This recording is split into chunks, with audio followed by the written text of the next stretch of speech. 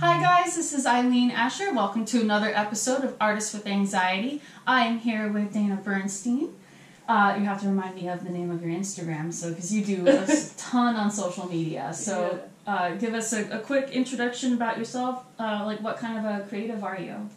Um, so uh, the short of it is a graphic designer and a yoga teacher. Mm-hmm. So I do a lot more than that. Um, so graphic design would be Midwestern Bones on Instagram. Uh, yoga teacher would be Bern Yoga, B E R N, like my last name, and then um, Crush dot Design would be my Etsy store where I sell okay. bones, um, bone jewelry, other um, graphic design elements, and, mm-hmm. and things that I've created. Just you know, any product that I want to create is on there, pretty much. Well, that's really cool. And again, we'll have links at the bottom. Um, so you do pretty much a, everything almost, and you've got you got some. I like. I see some in like the background yeah. there too, which is really cute. So yeah. I really like those, and it's perfect Halloween time, even though it's just over now. But oh, well, it's always it's, Halloween it's for me. Spooky, spooky year round. Yeah, yeah. um. So tell me, and and only again, only tell me what you're willing to divulge. I don't want you to uh, be uncomfortable or anything like that. It's not what this is about. Um, so, what kind of mental health issues are you struggling with? Mm. Yeah, so I have anxiety, um, you know, more of a generalized state, and then I also um, can go through panic attacks or periods of panic attacks. Um, you know, they affect um, kind of in general in life, but, um, you know, in regard to kind of having a low level of social anxiety, I came up with, against that as I started to teach yoga. So mm-hmm. I started to discover that about myself. That's really cool. I never thought of like yeah. being in front of, of a class like that. That just ter- that that terrifies me to be honest. So that's really cool that you can get up and do that. It was in the beginning. Um, it certainly um, you know took some getting used to because it's part performance, part leading some you know leading the class through mm-hmm. um, a, a sequence and it's part creativity and it's kind of all of that together mm-hmm. and that is certainly anxiety making if you happen to be an introvert or, yeah. what have you so there's definitely been some times where i've actually worked through a panic or a low level panic attack while teaching yoga. Oh wow. Mm-hmm. Yeah, I mean it. It's kind of the show must go on sort of yeah. situation. There's really nothing to do but uh, to dive right into it. So, um, so I'm sorry. What else is your question? so, uh, well, that, that actually kind of narrowed it down. So, like, how do you, when you have those panic attacks, how do you work through those?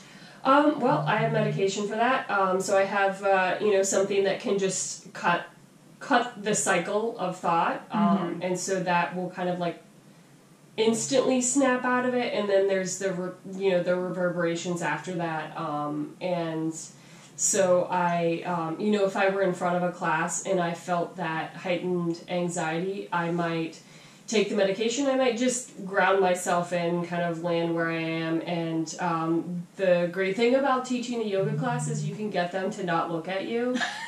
That's brilliant, actually. So, yeah, that was actually a thing that I uh, that I found online when I was looking up, like how do you deal with who you are while you're teaching yoga. Like how mm-hmm. do you deal with like feeling insecure and one person had mentioned like my face goes red, so I just put everybody in child's pose. Yeah, I do that.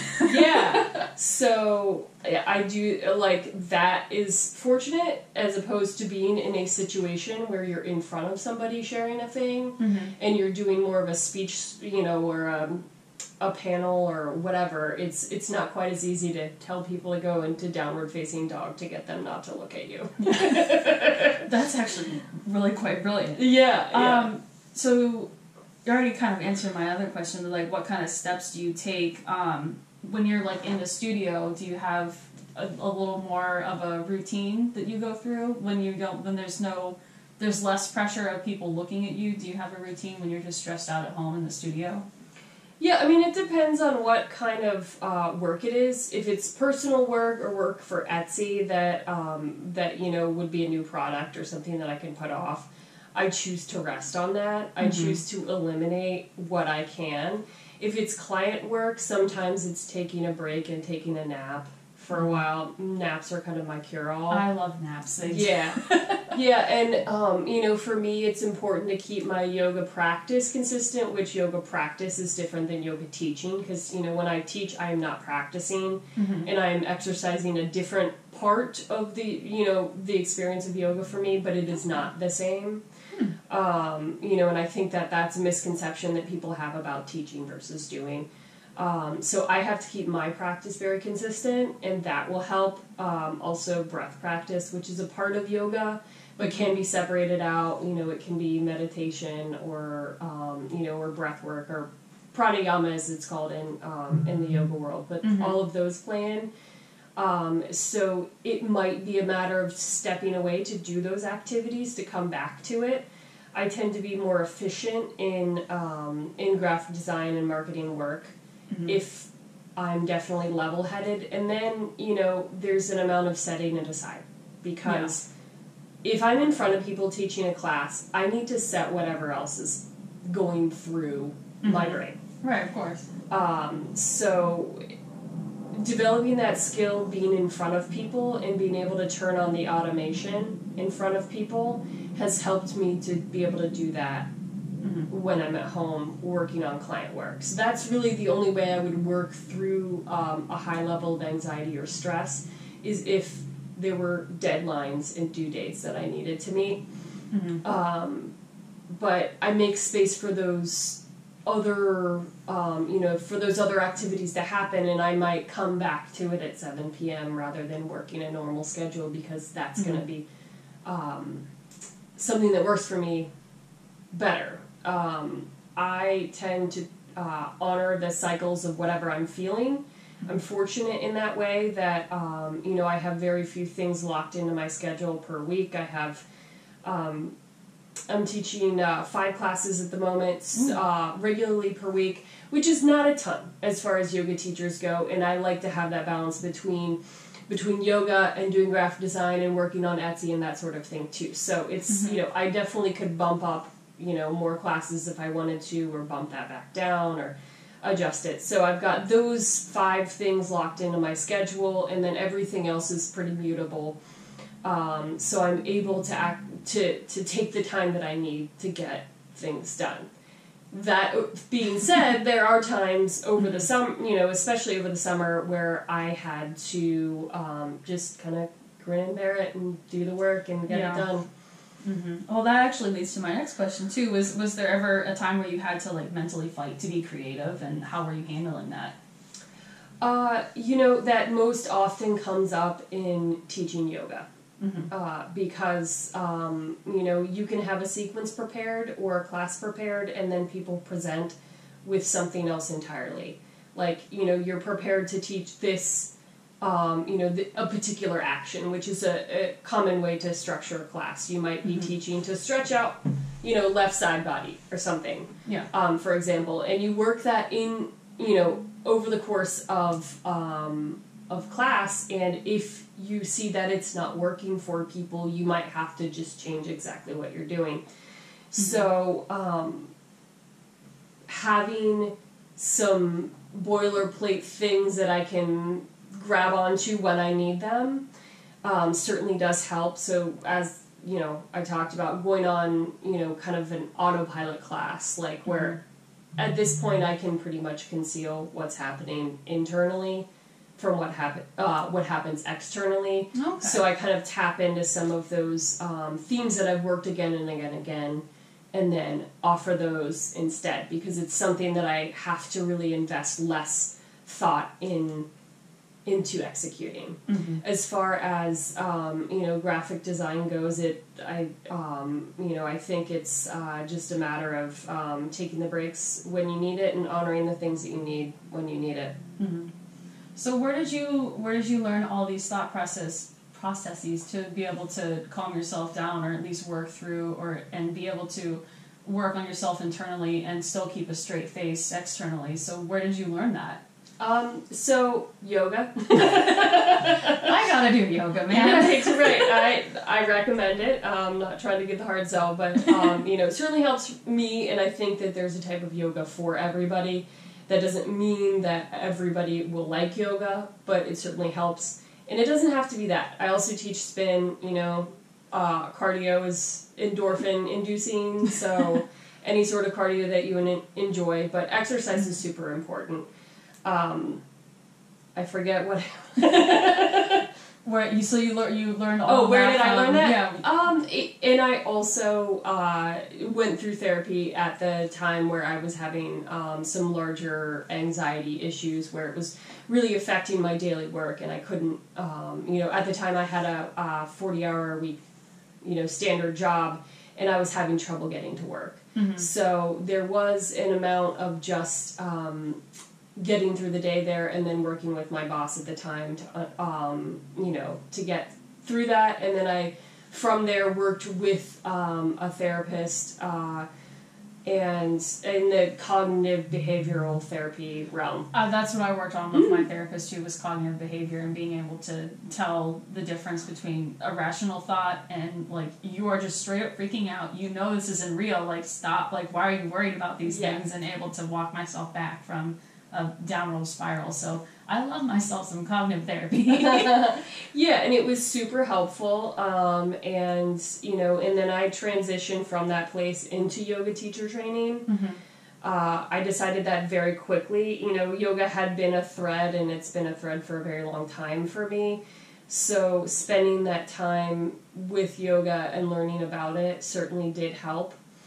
Um, he introduced me to just a very simple breath work practice, which is, you know, inhales um, to the count of five, exhales to the count of five for about five minutes, set a timer. Mhm. And that was um, my introduction um, to that. And he said, you know, there's um, there's a link between the parasympathetic and the sympathetic nervous systems, and breath is the piece of that. Like, so you can control um, both sides of that by controlling the breath. And so that's why I think that um, yoga tends to be very effective for people because it gets um, it gets to the root of that, and sometimes it takes physical activity to get rid of the other stuff, so you Mhm. can come back to breathing. That's really Like very simply. Well, it, it's it's funny that you mentioned the breathing too, because I have a similar kind of thing that I I was in band for so so long, and we had to do breathing exercises, and my instructor, without even knowing, like my band director, without knowing, was guiding us to like breathe in for eight counts, breathe out for eight counts, and then he was working us into taking deeper breaths and holding for, uh, for longer and being able to blow through the instrument. But I use I've taught my friends how to do that when they're having a panic attack. Mm. Like, okay, you have to think like you have to count in your head, and that and that's how they're like holding like they're breathing in for four and then out for four and like okay well let's try let's try for six counts now let's now let's try for eight and they can actually feel themselves calm down and I do it all the time when I'm freaking out. Yeah, So I mean that's even, I was totally by accident. I don't think my directors even knew that that's what they were doing. They, I mean, they may have known. They, I don't know that they knew that they were giving you the tools, but that you know, they certainly were building a breath practice because I Mhm. mean, like, woodwind horn instruments are nothing if not a breath practice, Oh, yeah. right? You Oh, yeah. Um, so I, uh, I think that's really interesting that you learned it and picked it up from there. yeah. hmm It's effective. yeah. I mean, so that's awesome that you learned it from yoga. So it's just almost a natural transition for you, which is is awesome. Um, so do you have any other coping mechanisms that you use, like a self care routine, or like you might not be totally stressed, but you just need to like take a break? Like, what does that look like for you? Uh, so, um, I do yoga at like five thirty in the morning. Wow. yeah, I know. I do take naps in the afternoon, but um, if I'm able to stay consistent with a practice of you know um, at, at least four times a week, maybe up to six. I Mhm. you know take at least one day off. Um, I also do cardio. Um, you know anywhere from two to three times a week. So. Okay.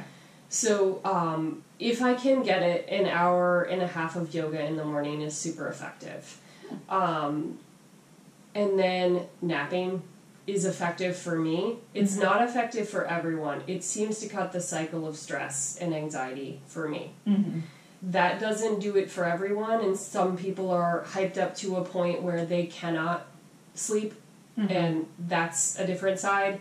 I struggle on the other end where I'm so tired and Yep. you know, uh, and panic attacks exhaust me and um, I'm fortunate not to have nearly as many as I have in the past. Um, you know, in if if I stay with those management tools, so I would say yoga, breathing practices, naps. Um, I mean, just making sure you have enough rest. Period. I think Yeah. it's important. Even if you can't get a nap, that you're at least trying to go to bed at a decent hour. And I, my therapist was always talking to me about consistency, putting yourself in a routine. And I, I'm so anal retentive anyway that I've stuck to my routine. I have to go to bed at this time. If I go to bed later, I'm cranky in the morning. I'm like a child. Right, and then to understand that like what your amount of sleep mm-hmm. um, is an ideal world, I need more sleep than other people, Mhm. and um, I recognize that about myself.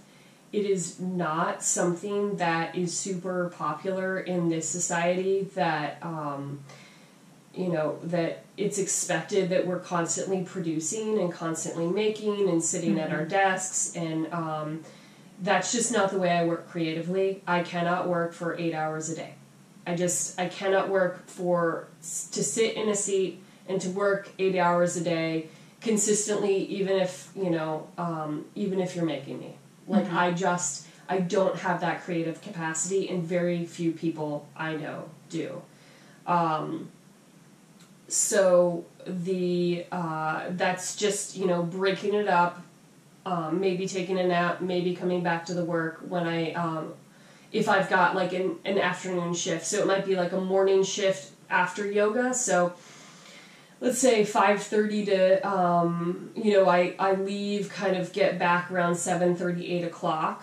I might have a morning shift there of whatever work I can get done before I teach yoga. Then I come back, maybe I nap, and then I might have an afternoon session of work or an afternoon evening session of work. Okay. Um, that's a lot of the way that I like to work. Um, the style of yoga that I do is often offered in the morning, so I've had to adapt to that schedule. So that means I might get six or seven hours of sleep, and that's not enough for me. I need 8 or nine, so that means I need to catch up with it later. If I choose not to go in the morning, I can go to bed at you know ten or eleven and get up at seven or eight and be fine. Right. Um, but that's the way it works for me. So that's kind of how I've um, I've identified those as like the non-negotiables. Mm-hmm. Uh, you know, and regular medication is also a part of it. Um, I think that's not super popular to talk about in the yoga and wellness communities. That um, you know, medication is not always looked upon as a solution, but I absolutely think that it is. Mhm. And I will even share with my students that, you know, like, oh, didn't yoga just, you know, like you just came around and you were fine? I was like, no, I still Not- take I quite. still take Lexapro every day. Mm-hmm. And that is an essential part of my self care routine. Yeah. It's not about masks or, you know, like or, you know, whatever else, like facials or whatever you can do. Like, you Mhm. know, it's not those, it's did you drink enough water? Did you have too much coffee today? Yeah. Are you taking your medication? Are you getting enough sleep? Are you doing the physical activity part of it? So, How long did it take you to find those boundaries? Did you struggle with that at all? um, sure, yeah. And I think the first boundary, um, you know, that I decided and that I was able to decide was to separate myself from uh, an, an eight-hour, nine-hour standard day Mm-hmm. five five days a week. So that um, was you know an amount of freedom, but it's also a boundary. It's saying you know I need to have more say in what my schedule is, and you're going to notice that it's a better product. Right. You know, coming back to uh, graphic design or marketing, because I do front end web development too, and um, so if you know if I'm in my best state, your product is better. Right. Of course. So you're not going to get my best work at 3 p.m. Like if I haven't had a nap, you're not going to get it. And I've been working, you know, 9 a.m. to 3 p.m. I'm crashed. Like I gotta Mhm. like finish up emails. I you know did my best to work within those that construct when I was there. But you're not always going to get the best product. Mm-hmm. Do, your, Um, do your clients ever have issues with that kind of schedule, or they just uh, come to expect that from you once you've made that boundary? Uh, you know, I um, I generally, you know, in contracts, I just I lay out that I'm available nine to five, uh, Monday through Friday, and I do draw the boundary on the weekend that I'm not going to respond to emails unless it's really quick. But if it's something super involved and most definitely not urgent, I'm not answering. Right. If it's urgent, if it's an exception, sure, of course, like, you know, I'm going to prioritize the person over the situation, but that, you know, generally I want to set those boundaries and honor them. Um, but that being said, you know, very few times in the year does one client uh, need all of those hours. hmm So I think it's pretty simple for me to do that and um, to know that I'm not going to accept a call after 5 p.m., but I might answer an email after 5 p.m. I think is a distinction that um, that you know is worth having. Um, you know, sometimes it's I, I don't mind if I've got the time, but if it's not super urgent, I'm going to accept you know calls or inquiries within that time and try to keep the boundary afterward. Okay. And there's some things that are forced into the schedule, you know, like this is what I teach and I'm unavailable, I turn, you know, turn my phone on do not disturb because it's necessary. So Mhm. Well, that's awesome. I haven't had a problem yet. well, that's really good to know. It's right. Um, I mean, I'm still in the early stages, not not early, early, but still, Figuring out what yeah, that is. figuring out for my my freelance career and poss- I'm happy with my my new job, but uh, maybe eventually down the road might be looking more at freelance. Even right now, um, some there's some days I struggle to, to balance all four of my long term clients, and it's just mass chaos. And I have to tell, I have to draw that line of like, okay, I actually have this weekend to not do any client work.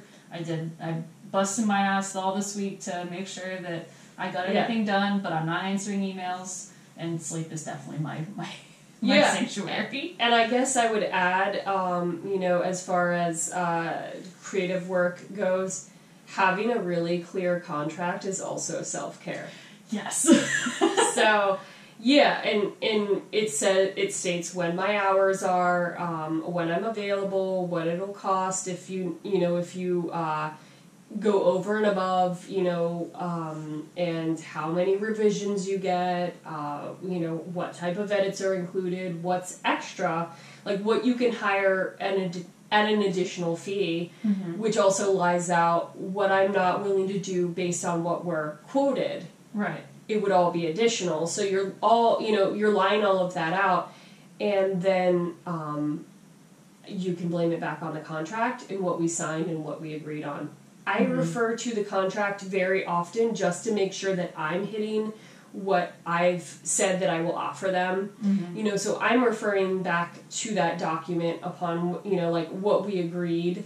Um, and, you know, and I, I certainly offer that to the client as well to, to, um, to let them know where those boundaries lie. Okay. Well, that's awesome. I'm, Yeah. I'm glad you you figured all that out. Well, it's a it's a constant process. You know, It's Mhm. been three years since I've been self-employed, so Mhm. it's all it's learn- all a work in progress. learn, yeah, learn something new every day for sure. Sometimes you got to add an extra clause. You know, yeah. I, I've been learning that too. I'm like, all right, Yeah. well, we did that. I'm not doing that again. So we're gonna move on from that. right, right. Um, so why don't you? Uh, uh, I answered all my questions. Shoot, this was fun. So why don't you tell us where you, uh, where we can find more about you?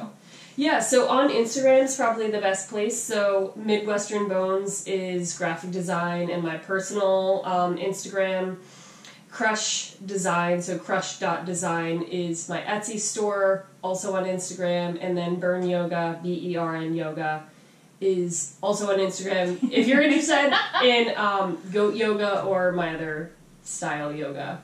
You, you said goat, right? Yeah, I Like, did. with The, I with the little oh god, yay. Okay, yeah. You can check out, yeah, so you can see photos of me doing yoga with goats, or teaching yoga with goats around. Oh, that makes me. That's so much better. Oh my god. Yeah, yeah.